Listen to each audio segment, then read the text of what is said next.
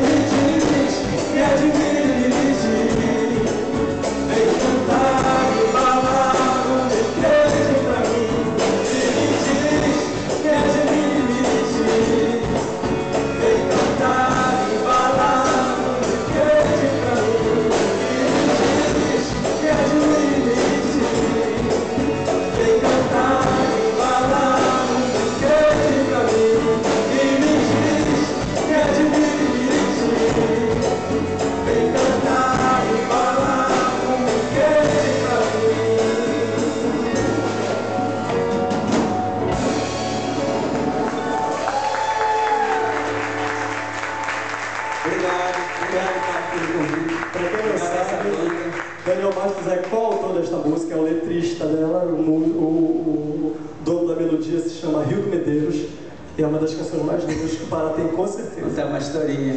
Esta música foi a culpada de nós nos conhecermos. Há alguns anos atrás, eu e o Rico escrevemos ela no Festival de Orem e foi defendida pela saudosa Silvia Lobo. E na ocasião nós conhecemos o Carlos Gutierrez.